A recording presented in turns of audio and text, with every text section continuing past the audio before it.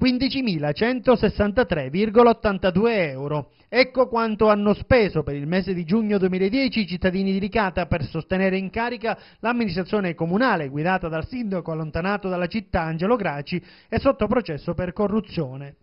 Nel dettaglio, al sindaco Angelo Graggi è stata liquidata la somma di 3.523 euro, al vice sindaco Gaetano Lombardo per il periodo dal 24 maggio al 28 giugno 1.808 euro, all'assessore Giuseppe Mulè 1.585 euro, All'assessore Salvatore Furnò 951 euro, di cui 6 giorni del mese precedente. All'assessore Calogero Scrimali 1902 euro, di cui 6 giorni per il mese precedente all'assessore Giuseppe Sanfilippo 792 euro, all'assessore Giovanni Giambra 1585 euro, all'assessore Gianfranco Pilato in carica dal 9 giugno 2010 1109 euro.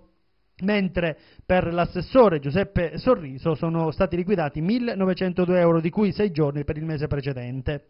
Il Comune inoltre ha liquidato la somma di 4.648 euro quale compenso ai componenti in nucleo di valutazione 2.324 euro lordi sono stati liquidati al dottor Giuseppe Vella, contestualmente segretario generale della provincia di Agrigento ed ex segretario generale del comune di Ricata, altri 2.324 euro lordi all'avvocato Dario Romano.